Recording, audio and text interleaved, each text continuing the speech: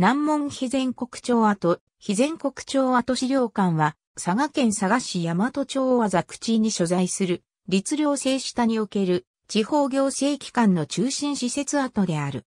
1989年9月22日、国の史跡に指定される。跡戸の川から南門を望む本国町跡は確認調査により口屋座5本杉で確認された。規模は南北104.5メートル、東西77.2メートルである。建物は南北中軸線上に南から南門、前殿、西殿、跡殿が並び、前殿の東西両側に、おのおの2軒の脇殿が配置されている。また、正殿の左右に牢が取り付けられて、閣内を南北に二分している。南門は、築地を内側にやや引いて八五門にしている。建物規模は前殿、後殿が七間二軒、正殿も同じ大きさで、これに各一軒の四面ひさしがつき、九軒島、脇殿は四棟とも七間二軒である。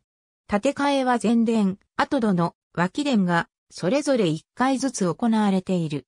正殿と回廊は建て替えが認められないのは後期に掘ったて柱建物から礎石たちに変更されたためか。しかし、礎石は見つかっていない。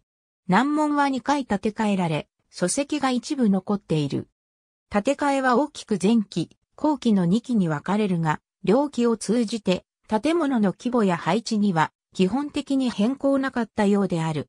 国庁畜生時期は出土した末期、端期、多量の瓦などから8世紀前半と推定されている。